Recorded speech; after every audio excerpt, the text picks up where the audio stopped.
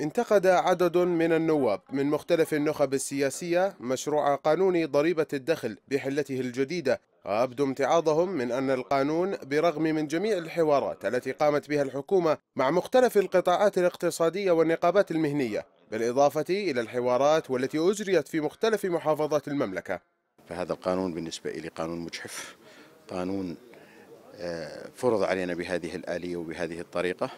ليس من الناحية المادية وأنا أتوقع أن هذا القانون فرض علينا لمواقف الأردن السياسية الصامدة بقيادة جلالة سيدنا. وإحنا هذا القانون هو خلينا أقول مطلب سياسي مش مطلب مالي بفرضه على الأردن وعلى المواطنين.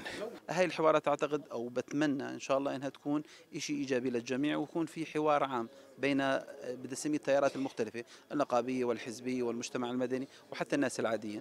بتمنى إنه يكون في شيء يخدم الجميع يخدم مصلحة الوطن وزي ما بنحكي دائما نحن عين على الوطن وعين على المواطن.